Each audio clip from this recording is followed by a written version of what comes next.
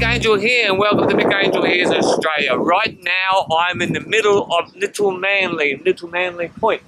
And what you see here is a park, scenic walk to North Head.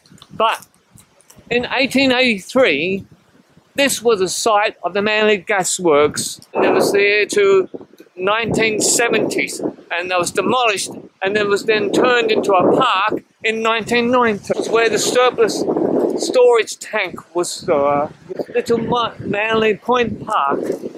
As you can see, this is now a beautiful park area, but this was once a gasworks. Unbelievable how we reclaimed the land. It is quite windy right now today, and uh, 60 kilometre hour wind. There's a bushfire raging on the other side of Sydney, and here we are in the most spectacular place. Now, I've been running around the bush, so today I thought I'd do something different, just to go somewhere a little bit more civilised.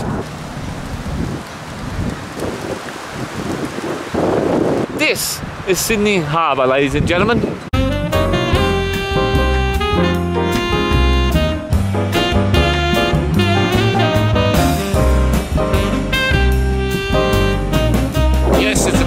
Windy day. There's a bit of a chop there. You can see the smoke on the horizon from the bushfire that's raging down the southwest Sydney and Holsworthy. But you can still see the walls of the gasworks down here.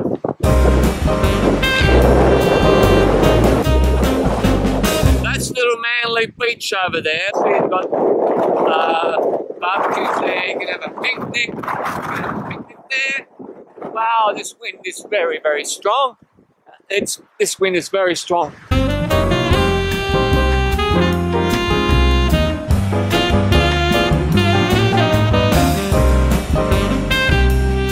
These cogs were part of the conveyor belt system here at the um, gasworks. Coal conveyor system. There was also coal that was uh, brought here as well, loaded onto the ships. Uh, so I loaded up the ships. See